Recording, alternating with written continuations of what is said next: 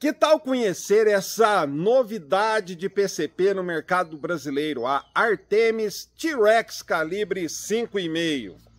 E ela vai te surpreender, pode ter certeza.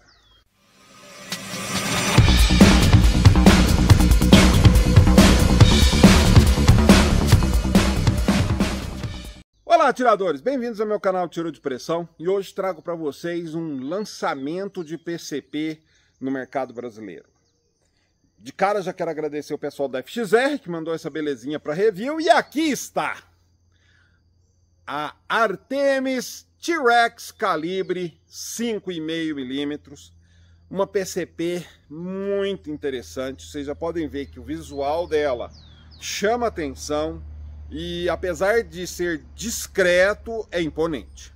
Pois bem, vamos numa análise visual dessa belezinha aqui. Essa aqui é uma carabina de PCP calibre 5,5.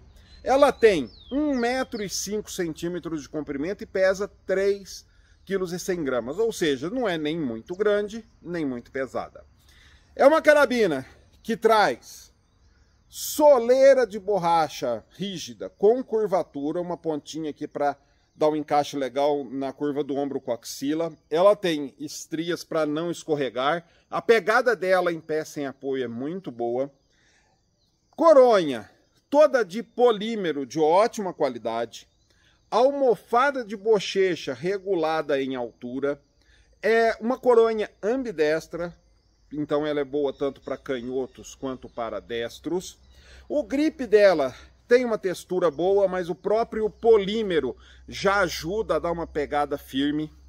Guarda-mato em polímero, trava de segurança por botão aqui, do lado da ponta do guarda-mato. Gatilho em polímero recuado com uma curvatura bem ergonômica. Ela tem trilho Picatinny em alumínio, castelo em alumínio, o sobrecana em alumínio. Temos aqui uma telha com textura boa para uma pegada firme. Temos trilho inferior Picatinny para você colocar aqui uma lanterna tática ou um bipé que vai cair muito bem com ela. Conjunto de mira aberta com fibra ótica.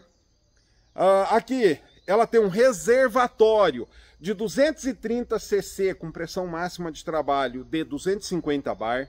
Ela já vem com válvula reguladora instalada de fábrica, o que é muito bom. Ela tem aqui na ponta do reservatório o manômetro que indica a pressão do reservatório.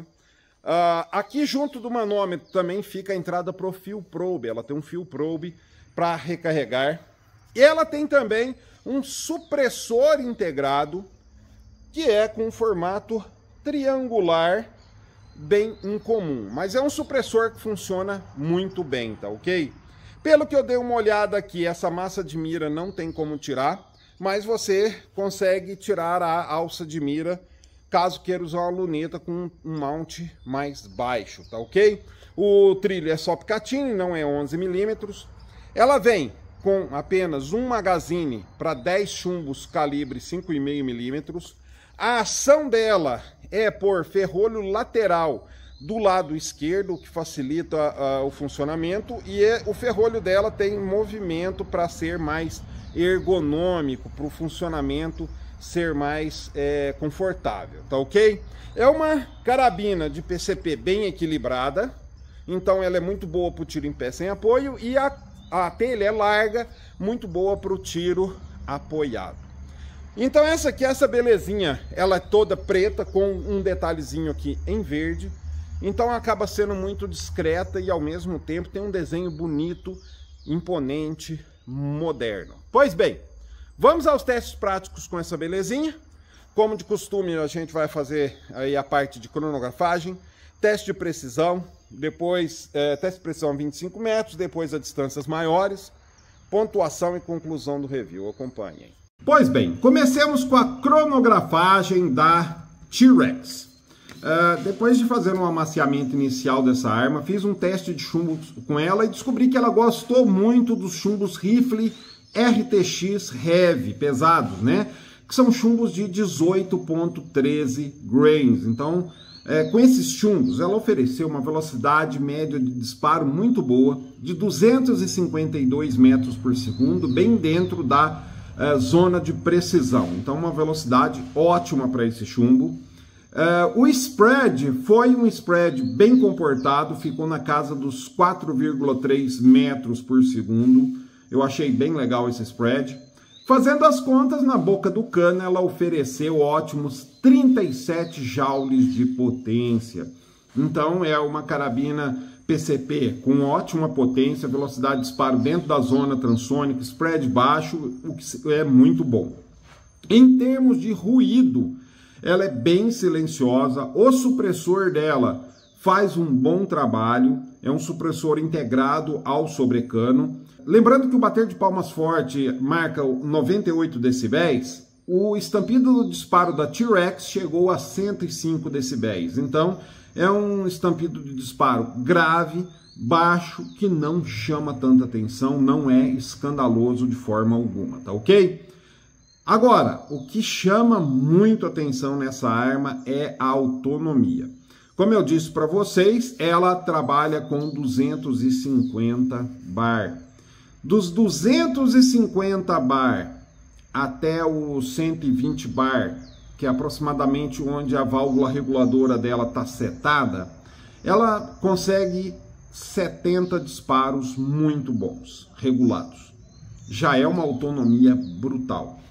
Agora, se o atirador não fizer questão de abrir mão de um pouquinho de precisão, ela consegue mais 10 disparos, ou seja, autonomia total útil dessa arma, 80 disparos com uma carga de ar completa, ou seja, 8 magazines. Gente, é mais do que uma sessão de tiros para muito atirador. Então, é uma carabina com uma autonomia excelente. 250 bar nesse reservatório é fácil de encher com bomba manual? Não, vai dar um trambalinho, vai dar uma boa canseira. Mas, como recompensa, usando a T-Rex, o atirador também vai ter aí 80 disparos. Então, é, mesmo que ele fique ali dois, três dias, cada dia ele vai lá e bombeia um pouquinho, para que no final de semana, quando ele vai atirar, ele tenha 250 bar completos, ele consegue 80 disparos uma sessão de tiro longa num dia, ou se ele fracionar, daria aí 40 disparos num sábado, 40 disparos num domingo. Já são duas sessões de tiro bem legais, com uma carga diária. E isso é muito legal. Então ela não é fácil de encher com bomba manual, mas a autonomia é grande, a tornando amigável sob esse aspecto com bomba de ar, tá ok? Logo em seguida comecei a fazer os testes práticos com ela. O primeiro teste prático que eu faço é precisão a 25 metros. Estou usando aqui uma luneta Evo 41644. Tiro apoiado, a arma está apoiada em é, um apoio mecânico. 25 metros, 10 disparos, um magazine completo e esse aqui foi o resultado. Lembrando que o gatilho dela tá como veio de fábrica, tá um pouquinho pesado, ele tem algum ajuste, então fazendo um ajuste fino ele ficaria mais confortável. Para o meu gosto de gatilho, daria para melhorar esse agrupamento, mas aqui temos um agrupamento de 10 disparos muito bons. É, se a gente deslocar esse agrupamento para o centro, seria tudo 9 e 10. Então, agrupamento ótimo para uma arma aí que está com ah, 37 joules. Então, muito bom. Agora vocês vão me acompanhar, vamos atirar aqui no plincão a 50, 75 metros e vamos ver se a gente consegue chegar com ele lá próximo dos 100. Não sei se vai dar muito certo, andou chovendo e lá está aquele brejo para variar, né? Ah, acompanhem logo em seguida pontuação dessa arma e conclusão.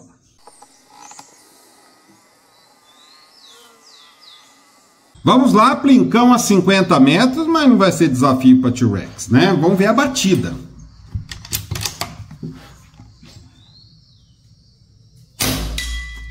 Eita, batidona forte.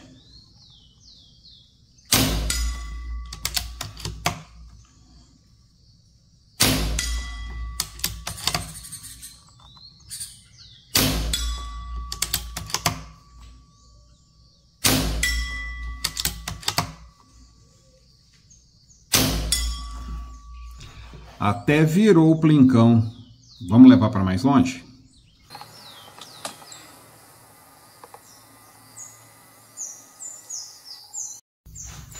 Vamos então a 85 metros. Eu ia levar até 75 e depois mais para frente, mas vi que tá um barro danado lá, então vai ficar 85 metros, já dá uma distância ótima para longa distância, né? Então, tô atirando aqui com os RTX Heavy no Magazine, uma pena que ela não vem com um adaptador monoshot. Vamos lá?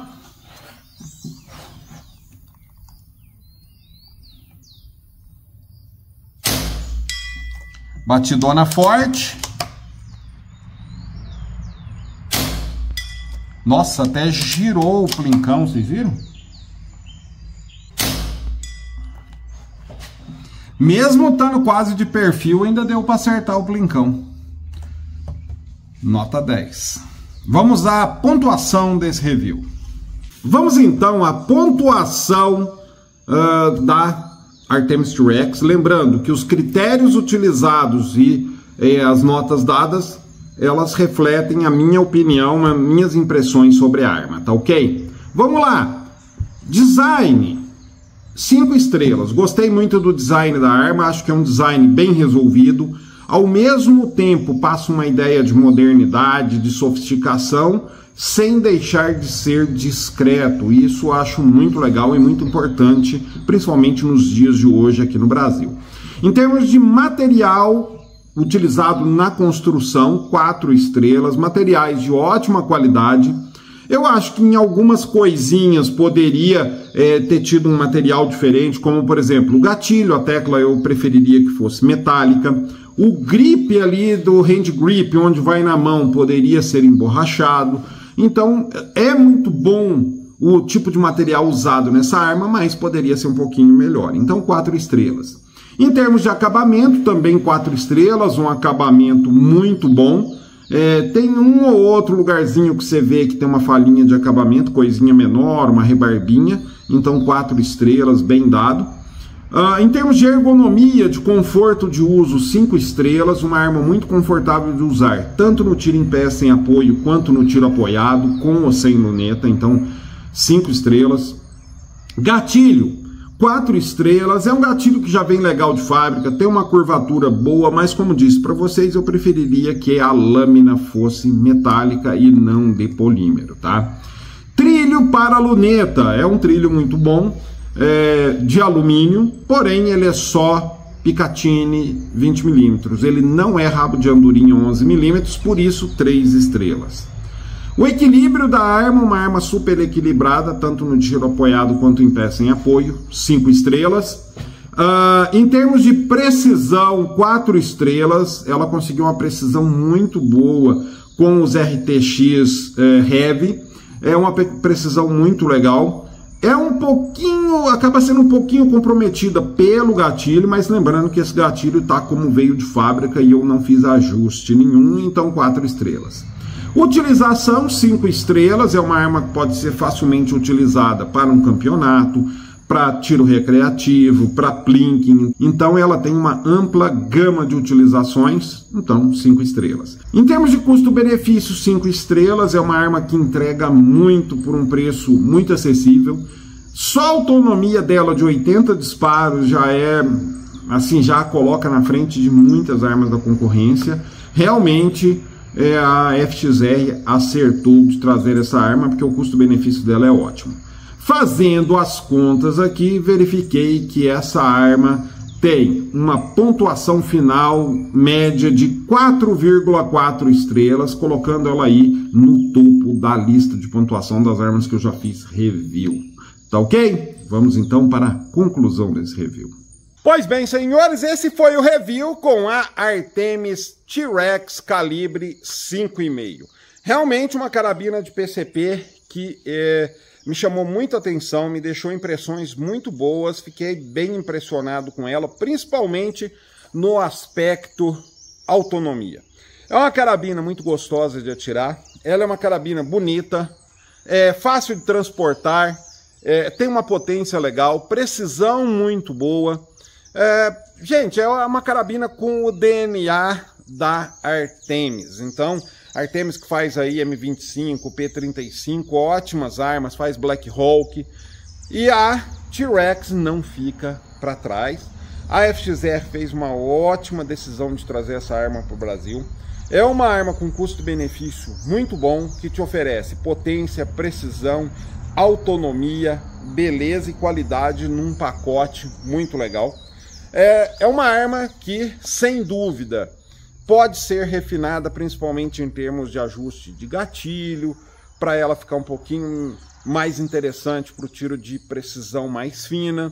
Mas ela tem aí muitos predicados interessantes e realmente gostei dessa belezinha aqui. É uma arma que, sinceramente, estou pensando em deixar ela na coleção. Muito gostosa essa PCP, super recomendo. Realmente, uma PCP aí que, vou falar, vale cada centavo que você gastar nela. Espero que vocês tenham gostado desse review. Dúvidas e comentários, deixe aqui embaixo no campo dos comentários. Deixe seu like, muito importante para o canal. Se inscreva para não perder próximos vídeos por aqui. Até mais.